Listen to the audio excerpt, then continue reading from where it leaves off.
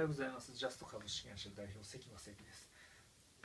で、こあの今朝あの今朝あの良きサマリア人に聖書新約聖書に出てくる良きサマリア人っていう話したんでね。まあ、はいあのちょっとかいつまむとあの旅人がいてあの瀕死の強盗に襲われてまあ死にそうだと。はいあの偉そうな司祭はこれ無視して通ってた、はいその2番目に偉そうなレビビンっていう人が、まあ、偉いあの、まあ、宗教に関わる人たちこれも無視して通ってた、はい。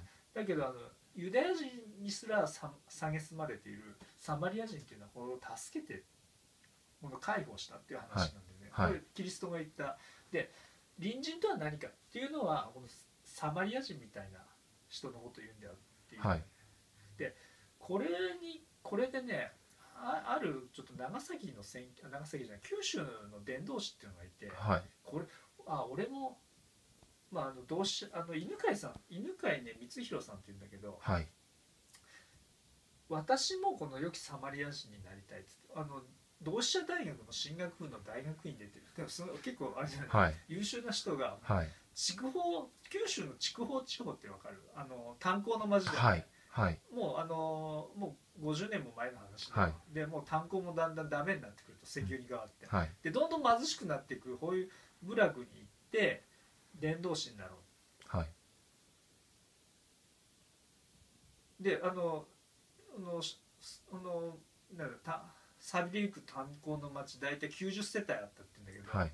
まあまあ300人ぐらいいるんだろうね、はい。そういうところに伝道所開いて若い。多分25ぐらいの人がねはい。よくサマリア人になったと思難しいでなれなかったんじゃないかなと。うなぜ？まあなんかその肩書きもあるじゃないですか。肩書きがあるのとあとはそういうとこって錆び出てきてるので、うん。お年寄りが多かったりすると思うので、その聖書がうんたらかんたらとか、そういう話をされてもあまりピンとこなかったんじゃないかなと。ああまあと年寄りっつうのはねそんなにあの問題じゃなかあったんだけど。そうなんですね、うん。はい。要はさこの人はあの聖書結構読み込んでたと思うんだけど、ででも気づかなかったんだろうねこうやってこういう立場でああはい。君たち助けてあげるよ。はい。はい。うん。僕は同志社大学の進学部に出てキリスト教あの聖書をすごい読み込んでっていう人たちがこうこうこういうたはっきり言ってこの立場だよね、はい。そうですね。うん。でも彼にはあのもうそれがなんていうのかな。もうあのなんていうかサマリア人の行為はい。ああはい。うん。であの結構あのこの地域の人助けていろいろ信者とかできてくるんだよね、はい。できてくるんだけどやっぱガツンとくる。やっぱねあのこの人の人生はどんどんこれをやっぱ低くしていく。はい。いややっぱ50年ここにずっと居続けたんだよ。はい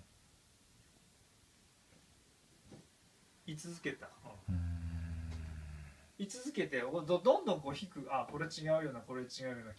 で最終的に良きサマリア人にい今多分慣れてるんだ。ろう、ん。でなんて言ったかっていうとあのいこ今後お墓自分のお墓どうしたいって言って聞かれた時に、はい。こう答えたんだよ、はい。あのやっぱね戦戦争中にあの炭鉱に韓国北朝鮮ああ朝鮮あたりから連行されてきた人たちがいて、強制労働だよね、はい。そこで死んでった人がいるんだよ。はい。で無縁墓地だよね。名前も刻まれてない、うん私はここに散骨されたい